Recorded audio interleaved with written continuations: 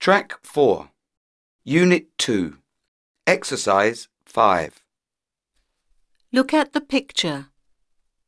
Listen and look. There is one example. Here's a picture of my family on the picnic last Sunday. Oh, yes. It was a sunny day. Yes, look, my uncle is fishing. Can you see him?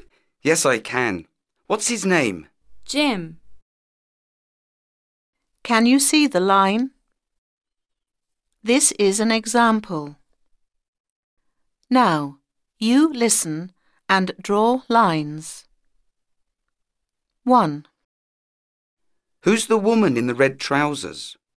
The one who is drinking tea. Yes. She's my aunt. What's her name? That's Lily.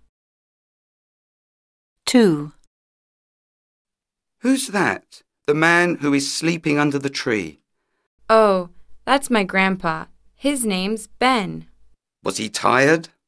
Yes, he played baseball with me. 3, And is that your father who's cooking the food? Yes, he's very good at cooking. What's his name? Fred. 4, And is that your mother with the vegetables in her hand?